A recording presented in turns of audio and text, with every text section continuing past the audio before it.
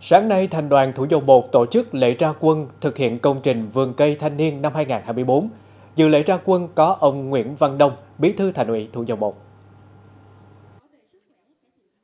Tại lễ ra quân, thành đoàn đã phát động các cơ quan, đơn vị, doanh nghiệp, trường học và cán bộ đoàn, đoàn viên thanh niên, học sinh thành phố hãy giữ gìn chăm sóc cây đã có, tổ chức trồng thêm cây xanh trong khuôn viên cơ quan, đơn vị xung quanh nhà ở, các tuyến đường để tăng độ che phủ cho thành phố thêm xanh, sạch, đẹp, cải tạo môi trường sinh thái và giảm nhẹ tác động của biến đổi khí hậu. Với khẩu hiệu mỗi thanh thiếu nhi một cây xanh, mỗi nhà góp một mảng xanh.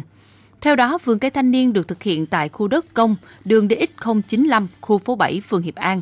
vườn cây thanh niên với quy mô gần 2.000 m2. Ngay sau buổi lễ, đại biểu cùng các bạn đoàn viên thanh niên đã trồng với 100 cây kèn hồng. Việc thực hiện công trình vườn cây thanh niên nhằm tuyên truyền sâu rộng trong đoàn viên thanh niên và nhân dân về mục đích ý nghĩa lợi ích của việc trồng cây xanh, tổ chức phát động mỗi người dân trồng ít nhất một cây xanh, mỗi nhà góp một mảng xanh, góp phần tạo nên cảnh quan thiên nhiên tươi đẹp, bảo vệ môi trường ứng phó với biến đổi khí hậu.